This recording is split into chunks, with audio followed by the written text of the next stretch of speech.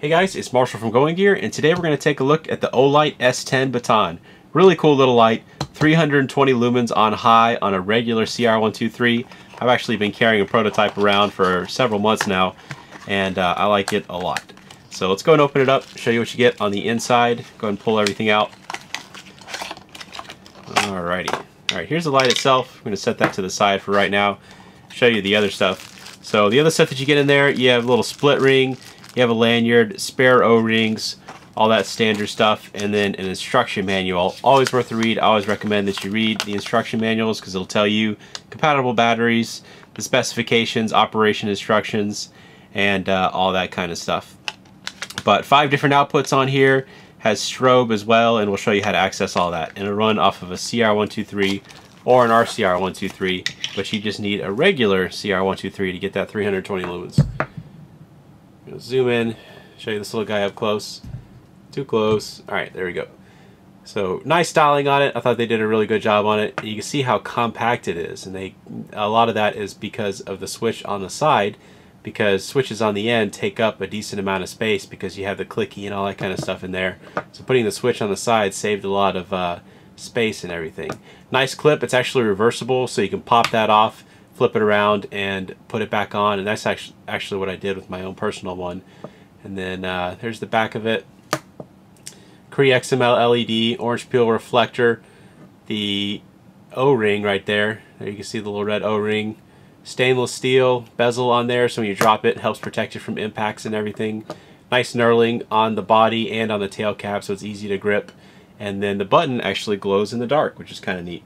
Let me see if I was about to say, let me see if I can find a flashlight. Uh, if you've watched any of my videos, you know that's maybe the most ridiculous thing I've ever said. Let me see if I can find one of my 400 flashlights I have in immediate vicinity. But probably a little overkill on this Nitecore TM15. But there you go. You can see even in uh, full lighting, it does actually glow. Kind of neat. So zoom back out. I'm going to throw a battery in here and show you the operation and everything. So let's go ahead and take the tail cap off. There you can see the tail cap down in there and uh, inside the battery tube and the circuit and everything. So in there is actually a magnet. So this thing actually is magnetic, which is pretty cool. So it'll attach to magnetic surfaces, which uh, some people like, some people don't like. I personally really like it. I find it really, really useful.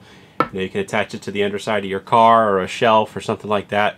But uh, if you don't like that, you can actually remove the magnet. This spring comes out and you can take the magnet out if you want to. I choose not to because I like it. So Surefire CR123, going to go ahead and slide that down in there. And uh, we'll put the tail cap on as well. Not the most useful feature in the world, but oops.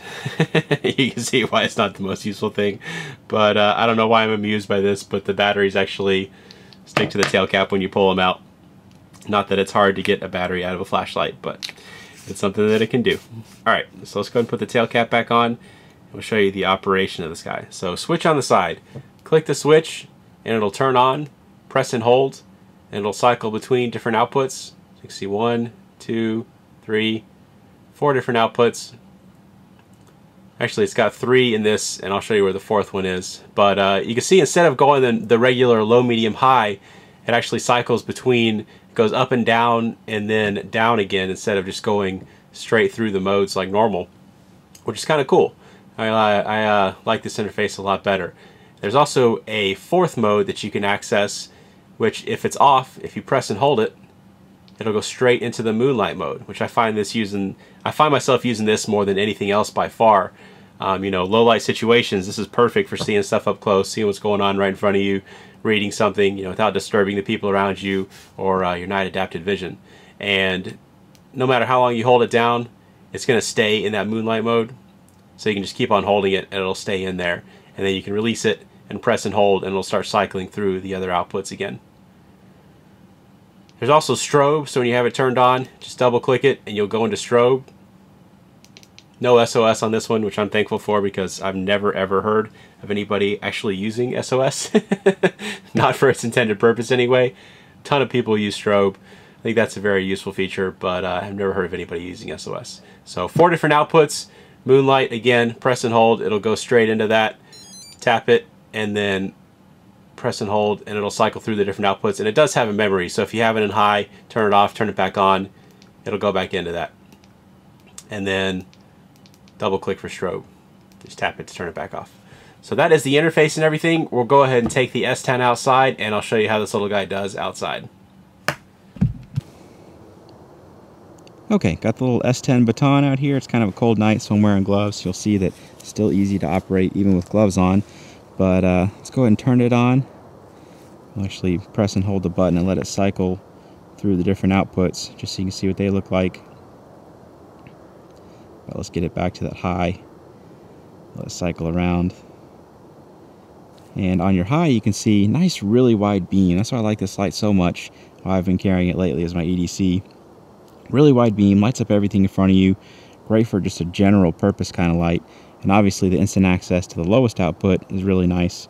So you can get to that right away. But uh, good output on this. Nice wide beams. The hot spot, really wide. Spill on it, still pretty bright. I can shine it up and you can see even the spill down here still lights up things pretty darn well.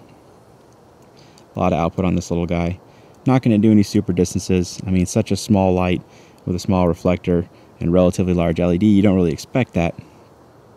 But uh, you can see still does a really good job even out at 100 feet. Let's try it a little bit longer distance and see how it does. Okay, we have the S10 and about 100 yards to work with now. Let's see how it does now. There's my house, the chimney at about uh, 25 yards away. Trees in my neighbor's yard, tops of them are about 100 yards away. You can see, I mean, it's not getting out there super, super well, not like some of the thrower lights, but you can still see the lighter parts of the trees. I mean, you still see what's going on. I mean, I can see what's going on out there pretty well. Again, you're not going to get super distance out of a light like this, but as I shine it around, you can see still does pretty well for such a small, compact little light. 320 lumens out of this little guy, so not bad. So that's the Olight S10 Baton. If you like it, you can buy it from us at goinggear.com. Any questions or comments, you can reach us in the comments or at goinggear.com. And if you liked the video, be sure to subscribe. We put out a lot of other flashlight and gear videos. Thanks for watching.